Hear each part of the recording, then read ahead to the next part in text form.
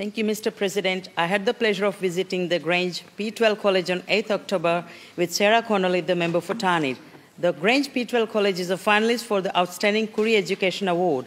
The college implemented the Marrung Aboriginal Education Plan, which was introduced by the Andrews Labor government in 2016 to ensure that Koorie Victorians achieve their learning aspirations.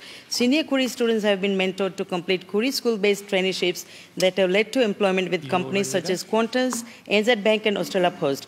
Guided by its Koorie Engagement Support Officer, the college has forged stronger connections with Koorie families. I was very delighted to meet with the Koorie students and staff who have made this program a success.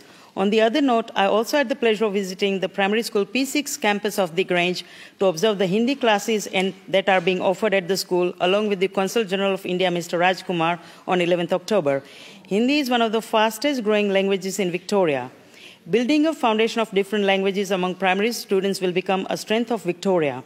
I was captivated by the excitement students showed towards formally learning the Hindi language that many of them speak at their homes. I thank the Grange for hosting me on both days and showing me how Victorian education has implemented sweeping cultural changes for the betterment of their students. I also hope that the Grange P12 College wins the Victorian Education Excellence Award.